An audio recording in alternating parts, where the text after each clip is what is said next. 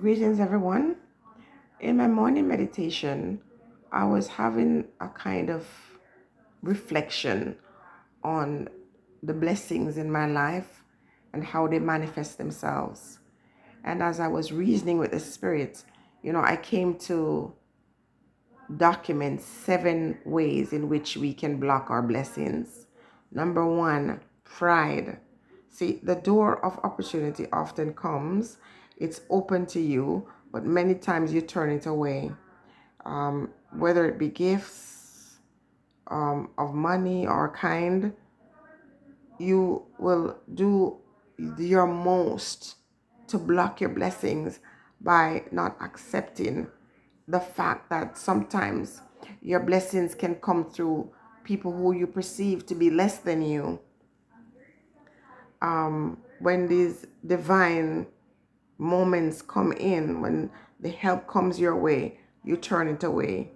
You've been praying and you haven't told anybody that you're praying for these things. And suddenly it comes to you or it's sent to you, but it because it doesn't come through the channel that you imagine it would arrive, you do not accept it.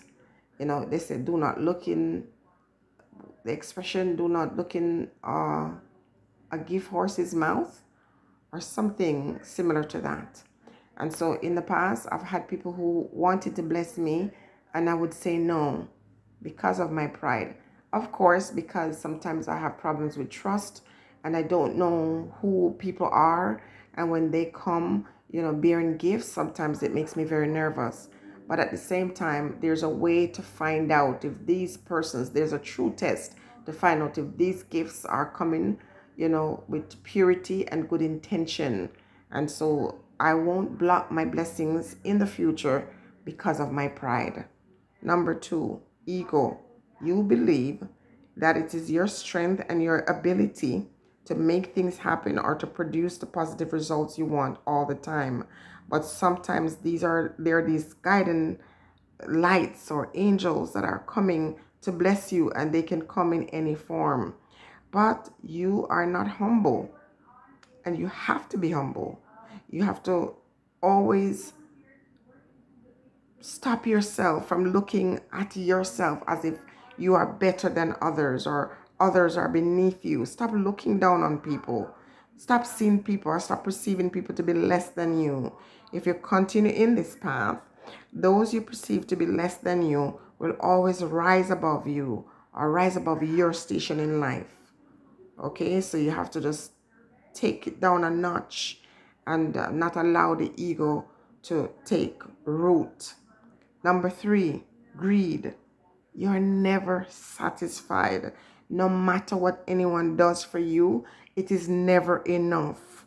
When help comes your way, you always think of ways how you can trick and deceive people who are kind to you.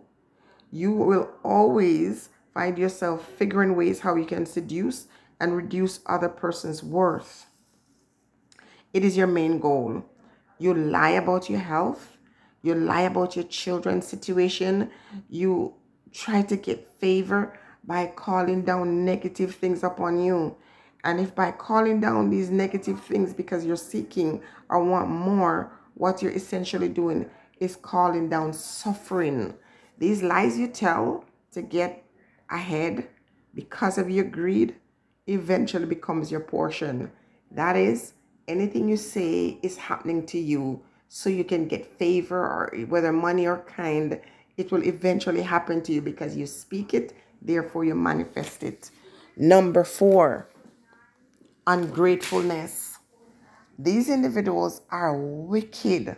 No matter how many people bless them, they always end up betraying everyone and disrespecting the ones who've been there with them or, you know, to bless them. And so you block your blessings with your ungratefulness.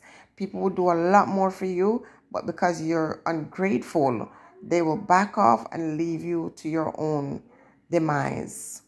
Your inability to show gratitude is the reason why you've blocked your blessing. Number five, dishonesty. You cannot be trusted because you are a liar and a thief. you find people will trust you because you have a nice personality. They're drawn to you. They'll trust you. They'll want to get into business with you. They'll ask you to do favors for them because you come across as a decent person. But what is referred to as finger cement is you. No matter how kind people are to you, you're going to try to find a way to pinch them some kind of way. And you do not just use it for your betterment. Your level of dishonesty is top tier. You look boldly into people's face and lie to them about things that you fail to realize can be verified. And so your level of cunning only works to prevent you from growing. I ask you to do a favor, for example, with the intention of blessing you afterwards, but your dishonesty or your dishonest disposition gets the best of you and you stifle your blessings. Number six, lust. You, lo- you want what someone else has.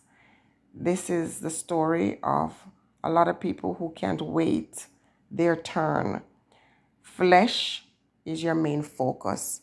And so, as you don't have the ability to rein in your flesh, your fleshly desires, you have to have it. And oftentimes, you want it because it belongs to someone else. And you cannot control yourself. So, lust can take any form. It doesn't just have to be in a sexual nature, it just can be about this insatiable appetite you have to have what doesn't belong to you or have something that you should just not try to go after or to satisfy the longing in your flesh. Number seven, and this is the last one. I'm trying to remember if I did envy. Okay, I think envy is the last one. Yes, back home they say, bad mind. You're never happy for other person's success. If it's possible, you'll block the blessings of others. And you come across as a friend most times, but you are one of those dangerous kinds.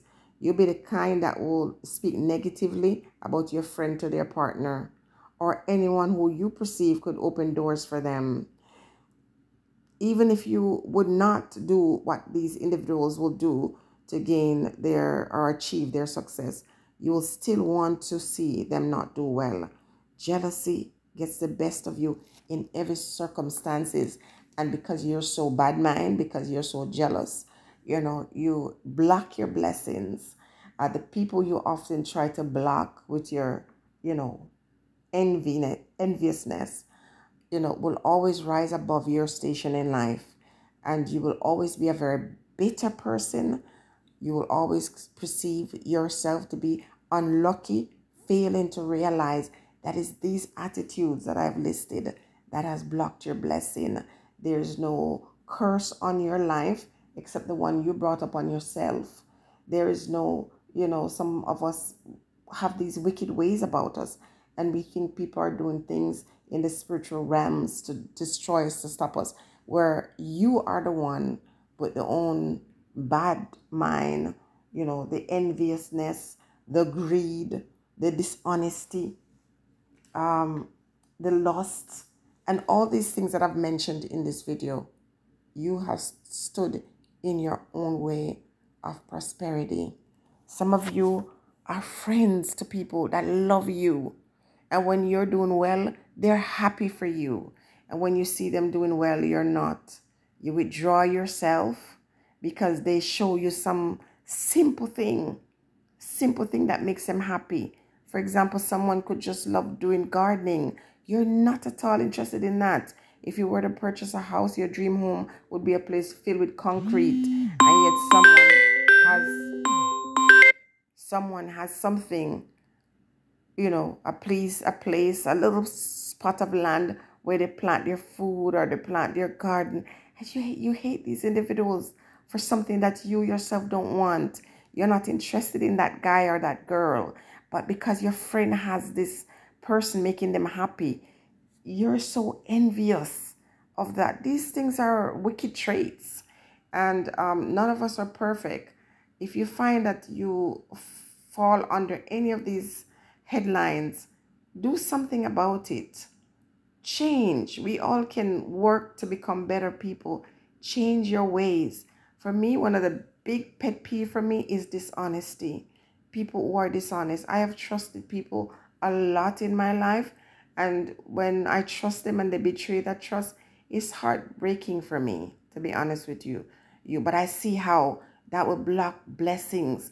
I've had big plans for people in my life, people that I associate or, or deal with. And when they double cross me, I say to myself, I wish you knew the plans I had for you. Too bad. And then I have met people like myself who would use pride and block our blessings. And I mm. say, listen, look carefully at that, assess that. Because when the blessings come to you and you reject them, don't think they're coming back.